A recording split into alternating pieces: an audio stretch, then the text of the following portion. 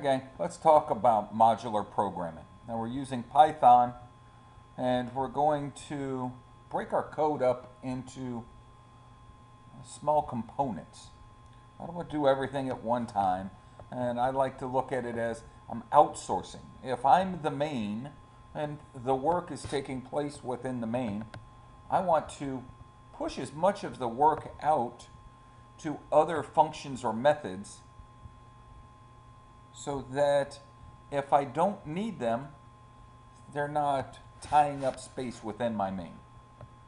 So I only invoke them or call them as needed. So within my main, I'm calling uh, the get year method. I'm actually calling the put date method and passing it a value. And we'll talk about the passing values and returning values shortly. But in all, within my code, I have four methods that I've defined or declared. Two of them receive value, two of them do not. Two of them return value, two of them do not. As well as at the very top of the code, you'll see from date time, import date time. So I've got a class of code, and within it, I'm importing date time and this date time object, I create an instance of it, and now I'll take anything that's created by the now function within date time, I'm going to store it in a variable that I've called now. And because of where I've declared it, that dictates where I have access to it.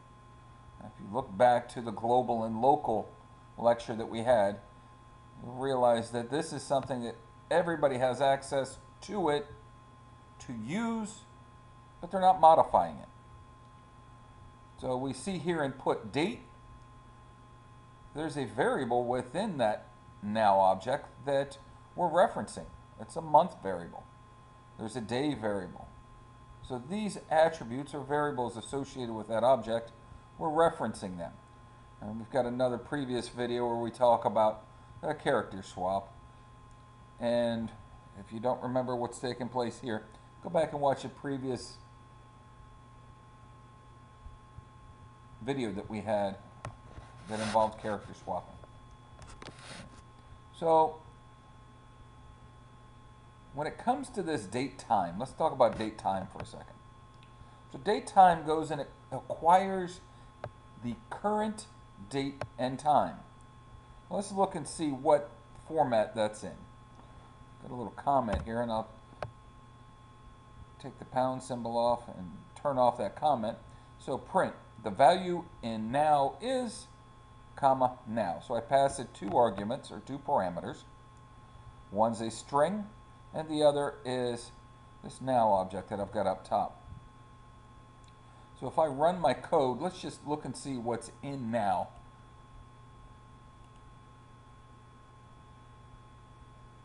and I'm using the latest version 3.6 so I have to deal with things a certain way when it comes to print functions. So the value in now is, so you see the year, the month, the day, and the time. This is down to a millisecond. So it went and looked at the system clock and it obtained that data and it passed it back to me. So we've got it in that format. Now we know what format it is in and we can use it. And I've got a program here that asks me, what year were you born? Uh, I'll tell it 1980. Enter. It says you are 37 years old, current date, current time. So if I keep this running over here, let's look at what's taking place within my code. Okay. So I define the main, and here's this line of code we had where we printed out what's in now. And the next thing that happens within the code, I have acquired age, it's a variable that I've declared, and I'm putting in it whatever get year returns to me. So I invoked or called this get year method. Now it's returning some value. I'm converting it into an integer by using that int function. And then I'm storing it in this variable. Let's go look at the get year method. When I defined get year, I also declared a variable year. It receives some value. What year were you born? And it stores it in year. And then it returns that value within year to where that method is called. So I called it here, that little spot in my code, to where I called it, and that's where the value gets returned to. So if I typed in 1980, it deposits the string of characters 1980 right in between these two parentheses.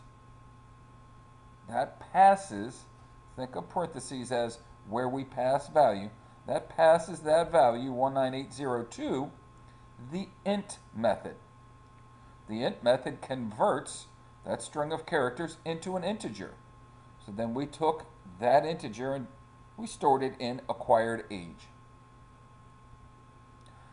So I have some value sitting in acquired age.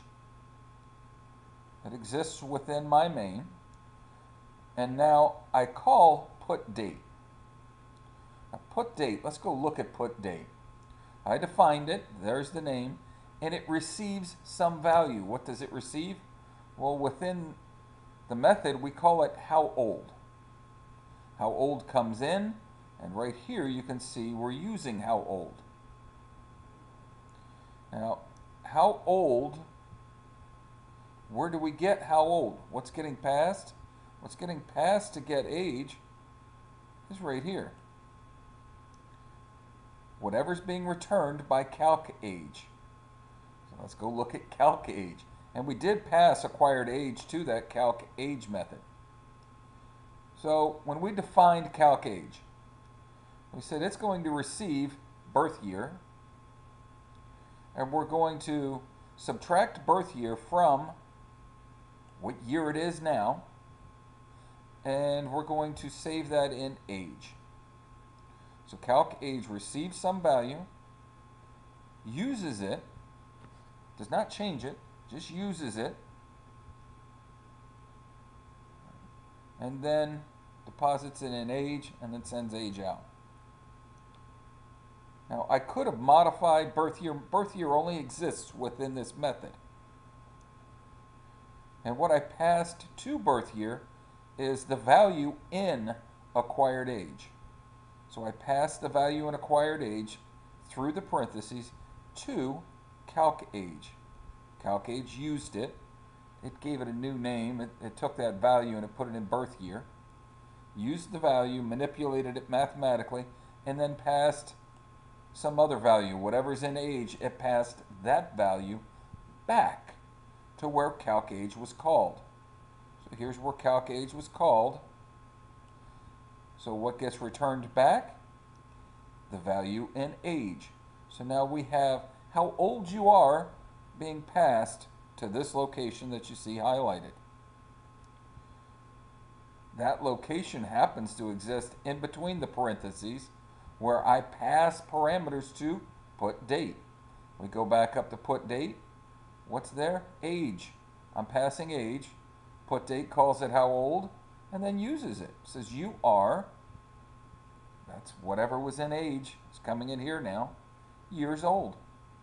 It also gives us the current date, and this is something that we talked about before in a previous lecture, and also talked about this date time as well, but uh, using that swap to swap the, the characters out, swap the values. You may need to go back, if you're not remembering that, you want to go back and check previous videos for that explanation. So I'm passing values to methods and returning values from methods. So if I compared this put date to a friend of mine that comes over and cuts my grass on the weekend, that friend requires something from me. I have to pass it to them. That's money. They do something with that money and then they perform a task for me. They don't really give me anything back in return.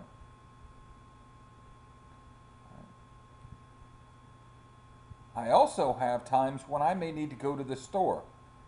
I go to the store, I pass them some value, and they return me something.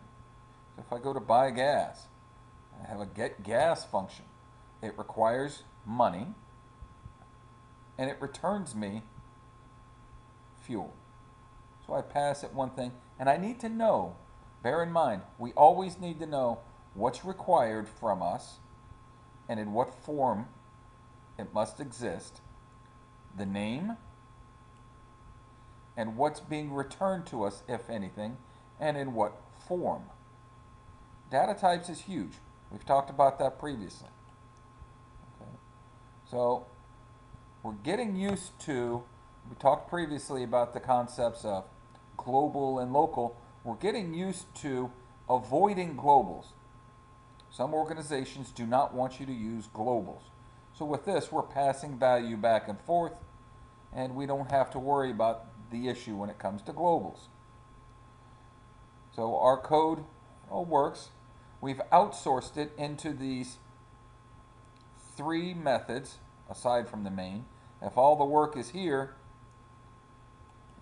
this first line of code was really just for us to see what's taking place. I have two lines of code. My main has two tasks. I invoked methods that exist above, but this is all we're, all the work I'm doing. I have work being performed by other methods. So that's why we, we call this modular programming in that each one of these little methods may or may not run. I may or may not call them. I may or may not need them. And it keeps it clean. Once I have a method or a function that works and I know what it's required and what it does for me, I can reuse this little block of code over and over and over again. And that's what I want you to get in the habit of doing. Create something that works, get a full understanding of how it works, what it requires, what it does for you, and then we can reuse it. So this date time object, we'll reuse that over and over and over again. We get used to using it. Okay. So I'll see you in the next video.